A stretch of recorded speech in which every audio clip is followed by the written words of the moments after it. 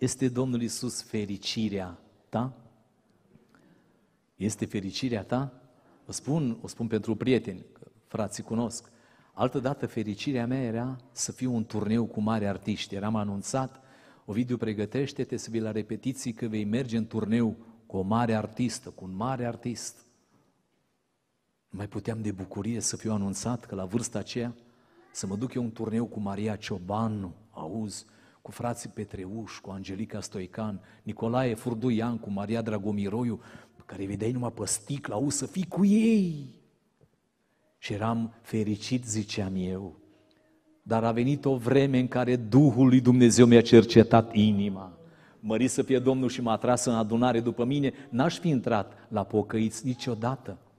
Bai compătimeam, și o spun asta pe scurt, îi vedeam cum treceau pasarela acolo în Petroșani, mergeau către adunare și spuneam, văzându-i tineri frumoși îmbrăcați așa cum îmbrăcați voi în casa Domnului și nu numai, și spuneam, ce îmi pare rău de ei. Au să-ți închizi tu viața, să nu mai ai tu fericire, să nu mai ai tu o iarbă verde, o berică, un șpriț. Domnule, asta e viața și ce e frumos și lui Dumnezeu îi place. Dar când am intrat în casa Domnului, fiind cercetat de Duhul Sfânt, am spus, ce loc minunat este locul acesta. Cum de n-am știut de el? Eu vreau să mai vin în casa Domnului, mărit să fie Domnul. Domnul mi-a atins inima, iubitorul de oameni. Iată de ce aveam nevoie, nu de aplauze, nu de flori, nu de gloria lumii, aveam nevoie de iertarea Domnului Isus. Bine, bine, dar n-aveai credință. O aveam, dragul meu prieten, o aveam pe a mea, așa cum ai tu pe a ta. Și nu-i de ajuns, nu, ca să ajungi în rai, trebuie să ai credința Domnului Isus. Amin? Da. Aveam Paști, aveam Crăciun, aveam catedrale, aveam mănăstiri, aveam parohie, aveam paroc, aveam preot, dar nu-l aveam pe marele păstor, nu-l aveam pe Domnul Isus, Domn și Mântuitor în inima mea, dar acum îl am. Mări să fie Domnul! Mări să fie Domnul, de aceea când cu toată bucuria și iată, cântarea în continuare ne va cerceta și să ne bucurăm că El, adevăratul păstor Isus, este Cel ce dă viață. Lăudați să fie Domnul! Haideți să ne bucurăm cu toată inima. Haideți să cântăm cu toată inima. Și iată, Domnul m-a chemat la o viață sfântă.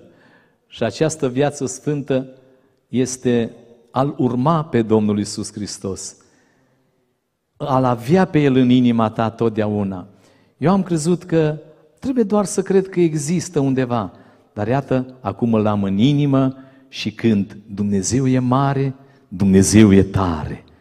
Domnul e cu noi în adunare și Domnul fie și în inima ta. Amin. Lăuda fie Domnul! Dar ce atâta bucurie? Păi dacă am numele scris în cartea vieții, îți dai seama. Religia nu-mi dădea voi să spun așa ceva. Nici nu-mi descoperea așa ceva. Mi-aduc aminte că am mărturisit și mărturisesc prin Harul Domnului, prin puterea Duhului Sfânt și spun la oameni că eu sunt mântuit. La care oameni? La oamenii noștri din România. Și uite așa să sperie. Vai de mine, ai de grijă ce spui, să nu mai spui treaba asta, asta e mândrie. Dar de ce spui? Asta nu știe nimeni. Dar de ce spui așa? Știe numai bunul Dumnezeu. Și atunci îi zic, ei, ce știe bunul Dumnezeu, ne spune și nouă. Vedeți ce dragoste ne-a arătat Tatăl. Să ne numim copii al lui Dumnezeu și suntem. Lumea se miră. Cum? Voi, copilul lui Dumnezeu? Auzi, ai de grijă, nu știe nimeni. Dar Mântuitorul spune să nu vi se tulbure inima, aveți credință în Dumnezeu și aveți credință în mine. În casa tatălui meu sunt multe locașuri. Dacă n-ar fi așa, v-aș fi spus, eu mă duc să vă pregătesc un loc. Și după ce mă voi duce și vă voi pregăti un loc, mă voi întoarce și vă voi lua cu mine, ca acolo unde sunt eu să fiți și voi. Câți vreți să fiți în rai? Ridicați o mână spre Domnul Isus. Mă la aia care nu ridică mâna, da, de ce frate, eu vin neapărat, da, acolo se vede dragostea ta, dacă vrei să te ancorezi. Ai frate, că e prea de tot, ești prea așa, nu știu. Auzi, așa trebuie să fii. Așa trebuie să fii înflăcărat.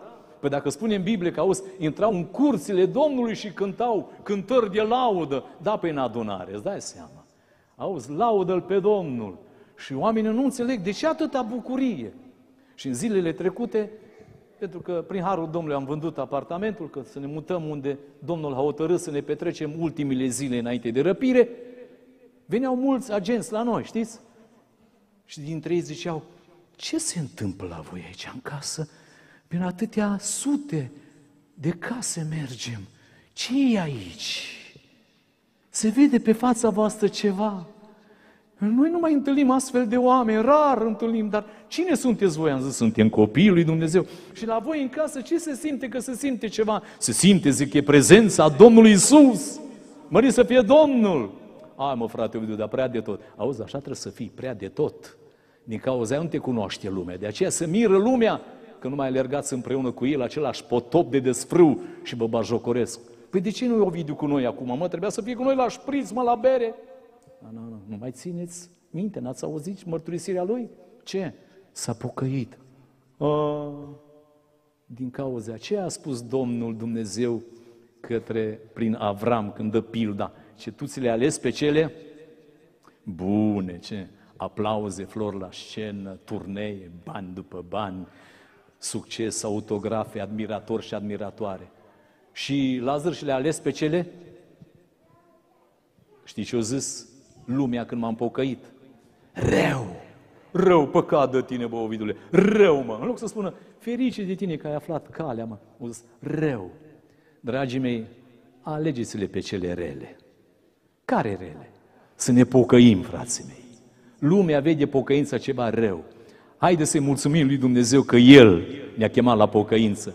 Haideți să-i mulțumim lui Dumnezeu că El ni l-a dat pe Duhul Sfânt să ne umple și paharul nostru să fie plin și să dea peste El, slăvit și lăudat să fie Domnul.